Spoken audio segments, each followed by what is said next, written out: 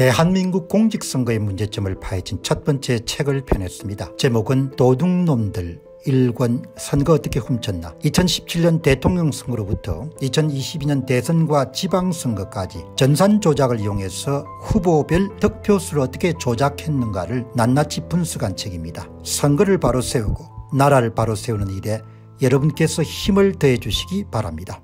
자 그런데 여러분 유동규 씨가 이제 저는 유동규 씨가 그 돌아가신 김문기 성남도시개발공사 개발 1처장을 몰랐다 이렇게 했기 때문에 유동규 씨가 완전히 그냥 180도 여러분들 돌아가지고 이재명 관련된 그런 모든 사안들에 대해서 진술을 하기 시작했다 이렇게 생각했는데 이번 법정 진술에서 판사가 물었네요. 당신 왜 그렇게 갑자기 입장을 선회를 해 가지고 검찰 수사에 협조하기 시작했냐. 유동규가 확을 띈 겁니다. 유동규가 학지를 띈 겁니다. 유동규가 그냥 배신감을 엄청나게 느낀 겁니다. 김문기 건은 보조적인 역할을 했고 더 중요한 것을 예, 이야기를 하네요. 2022년 9월 26일부터 한 달간 정인신문 25에 거의 한 달 내내 조사를 받았는데 심경 변화의 원인을 확인할 필요가 있을 것 같습니다. 판사가 묻습니다. 예.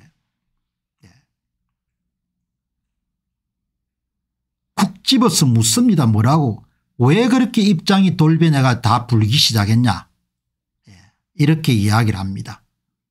그러니까 이제 그 법정 진술에서 유동규가 솔직한 이야기를 털어놓는데 우리도 귀담아 들을 만한 겁니다. 2008년 이재명 더불어민주당 대표와 인연을 맺은 뒤에 10년 동안 이재명을 위해 산다고 스스로 세뇌시켰다. 그런데 가짜 변호사 사건 때문에 완전히 돌아선 겁니다. 자기를 도와주기 위해서 변호사를 뭡니까 보낸 게 아니고 염탐하기 위해서 변호사를 보냈다는 사실을 확인한 순간 그냥 입에서 욕이 튀어나온 겁니다. 이 뭐들 내가 너희를 어떻게 생각했는데 너희들은 내를 완전히 개털 취급했구나. 여기서 완전히 돌아버린 겁니다. 가짜 변호사 사건이 본인이 입장을 선회하는 결정적 계기가 됐다. 예. 캠프 측에서 나온 변호사라고 유동규 본부장에게 접근한 사람들이 감옥에 있을 때 예. 유동규 전 본부장을 변호하기보다도 정보를 캐내는 역할만 담당했다. 거기서 크게 배신감을 느낀 겁니다. 예, 그게 결정적인 겁니다.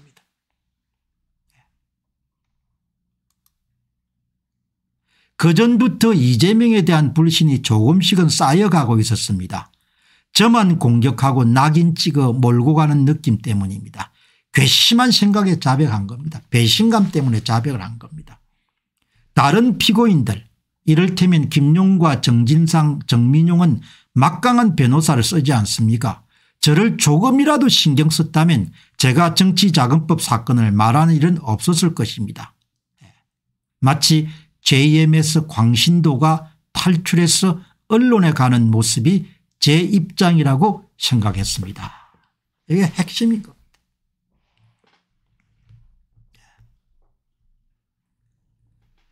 검찰에 진술하면 추가 기소가 될 수 있다는 것도 알았지만 저는 이미 지쳐 있었고 판사님 앞에서 명확히 밝히고 선처를 구하는 것이 제가 할 수 있는 가장 좋은 변호라고 생각했습니다.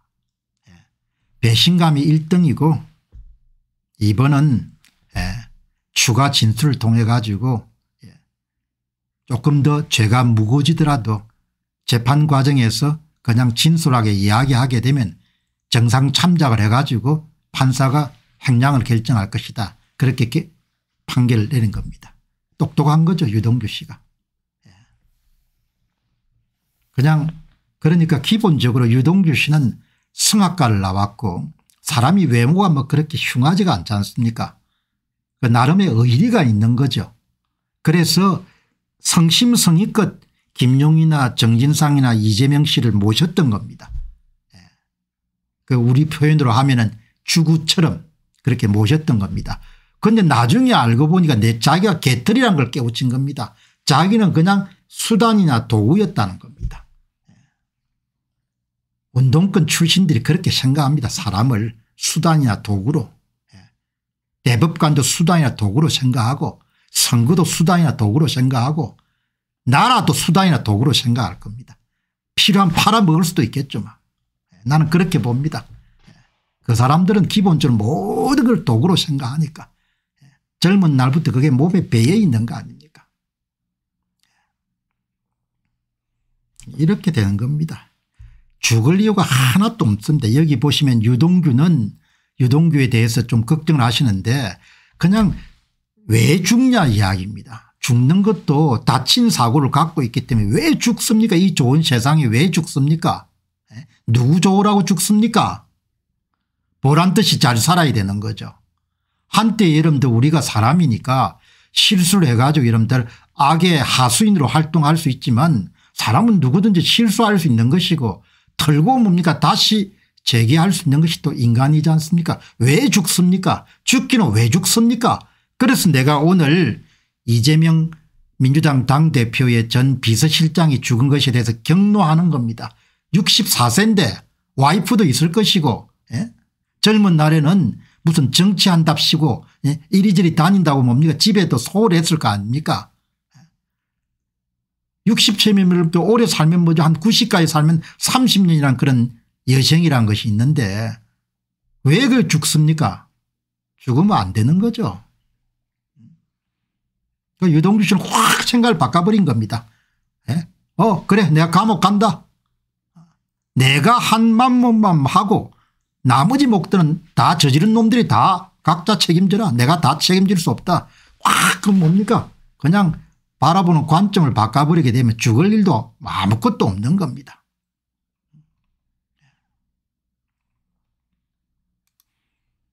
이재명 기사 뜨면은 자꾸 가짜 변호사들이 찾아오는 겁니다. 회유하기 위해서 위에서 보낸 변호사들이 찾아왔다.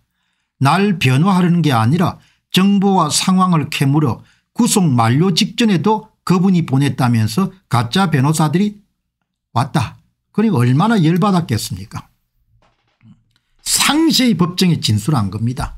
그 자들은 나를 완전히 개털로 여겼다는 겁니다. 나를 그냥 수족처럼 여겼다는 겁니다. 그거를 가짜 변호사 사건에서 알았고 그다음에 이제 김문식이 씨 여러분들 그 모른다 하는 걸 보면 야 저게 어떻게 사람이가 이렇게 생각 안 했겠습니까